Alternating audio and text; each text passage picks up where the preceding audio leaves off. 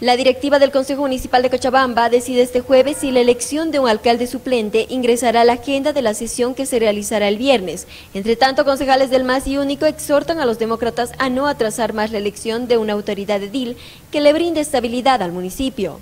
No nos corresponde como bancada del movimiento al socialismo presentar ningún nombre ni prestarnos a ninguna participación en ese tipo.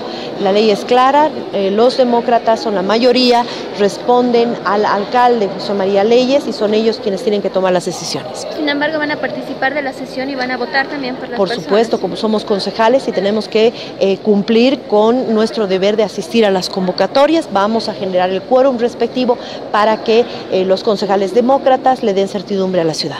Consejo eh, elija un alcalde o alcaldesa suplente temporal. Eh, esto incluso ha sido manifestado por el presidente del Consejo, Iván Tellería, quien ha dicho que en caso de que ellos no designen un alcalde o una alcaldesa suplente temporal, podrían incurrir en incumplimiento de deberes, la directiva del Consejo, es decir, tres concejales podrían eh, ingresar al incumplimiento de deberes. Yo pienso que el día de mañana eh, se tendría que elegir de una vez por todas, porque no se puede parar eh, la gestión de la alcaldía. La ausencia de un alcalde paraliza 29 tareas que son exclusivas de la máxima autoridad, según la ley del Gobierno de Autónomos Municipales 482.